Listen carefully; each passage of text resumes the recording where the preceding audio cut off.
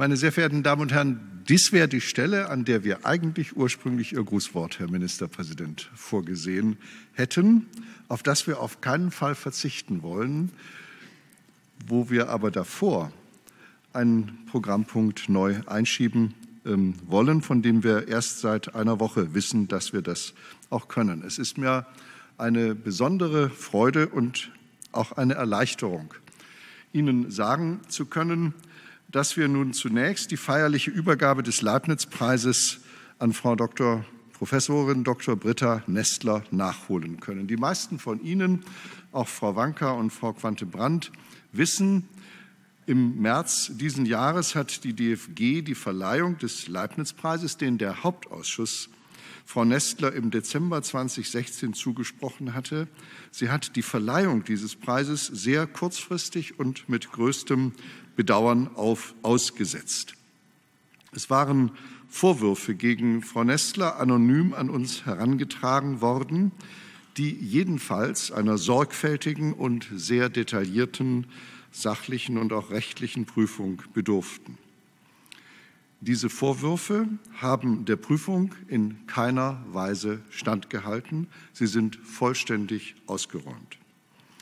Gleichwohl war es eine traurige und eine traurige Situation und auch eine bedrückende Zeit. Umso glücklicher macht es uns alle, dass die Deutsche Forschungsgemeinschaft Ihnen, liebe verehrte Frau Nestler, heute in aller Form den Leibniz-Preis verleihen darf.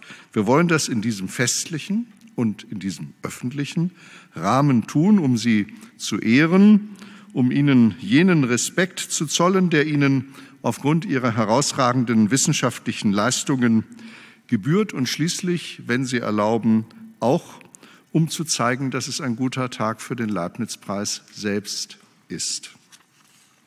Holen wir also das nach, was eigentlich schon vor vier Monaten hätte geschehen müssen, meine sehr verehrten Damen und Herren. Wenn Sie schon mal einer, bei einer Leibniz-Preisverleihung waren, dann wissen Sie, es folgt ein kurzer Film, der die Leibniz-Preisträgerin Britta Nestler porträtiert. Und dann wird der Preis begründet und verliehen mit allem, was dazugehört, einschließlich des Zuwendungsbescheids. Film ab, bitte.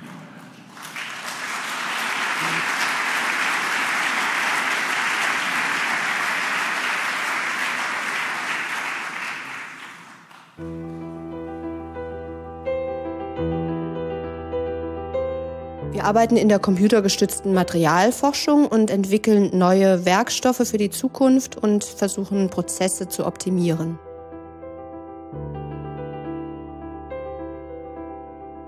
Wir haben mal begonnen mit metallischen Legierungen und Gießprozessen in der Herstellung.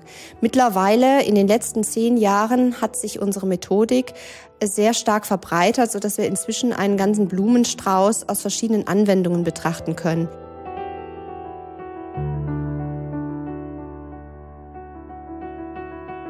Das Wesentliche der Forschung ist, dass man mit Höchstleistungsrechnern die Materialmodelle lösen kann und somit große Ausschnitte einer Mikrostruktur auflösen kann, um dann daraus statistische Aussagen zu treffen, was man am Werkstoff verbessern kann oder was man auch an dem Herstellungsprozess bzw. Weiterbearbeitungsprozess verbessern kann.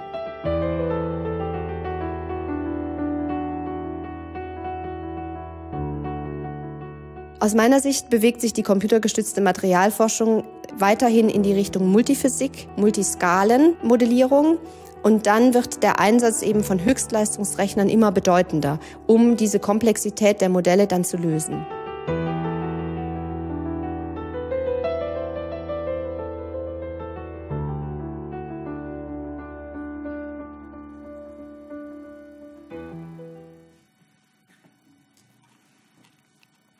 Also Sie dürfen da klatschen.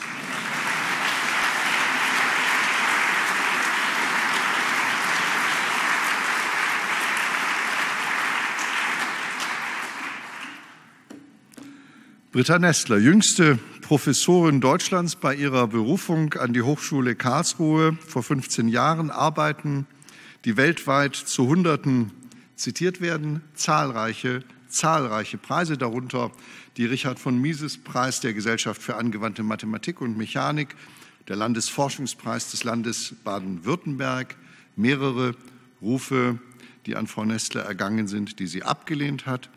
Schon das ist eine nur sehr ausschnitthafte Auflistung, die zeigt, Frau Nestler gehört heute zu den größten, zu den großen Ausnahmetalenten, den größten ihres Faches und zwar weltweit. Wir ehren mit ihr heute eine der besten Simulationsforscherinnen unserer Zeit, die das Feld der computergestützten Materialforschung in den letzten anderthalb Jahrzehnten entscheidend entwickelt, geprägt, vorangetrieben hat. Auch deshalb, weil sie in ihrer Forschung, die sie seit dem Jahre 2009 am Karlsruher Institut für Technologie betreibt, weil sie mit ihrer Forschung konsequent erkenntnisgeleitete und anwendungsorientierte Forschungsperspektiven aufeinander bezieht und damit beide Seiten dieses Bezugs- und Spannungsfeldes gleichermaßen befruchtet. Von den zahlreichen Beiträgen und Leistungen Frau Nestlers hat der Nominierungsausschuss für den Leibniz-Preis dabei in Sonderheit drei hervorgehoben. Erstens, es gelang Frau Nestler schon in jungen Jahren mit der Formulierung quantitativer Phasenfeldansätze für mehrkomponentige Systeme eine ganz wesentliche methodische Neuerung, die den Weg gebahnt hat für die Anwendung entsprechender Methoden in der Werkstoffentwicklung.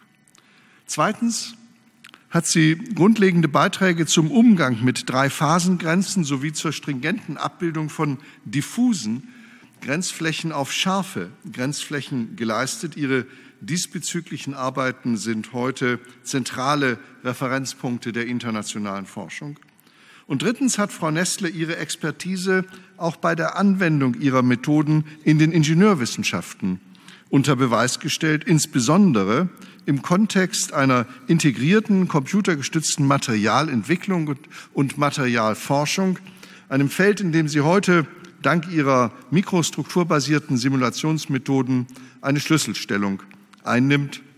Ihre Arbeiten grafen dabei immer weit auch über die Werkstoffentwicklung im eigentlichen Sinne hinaus.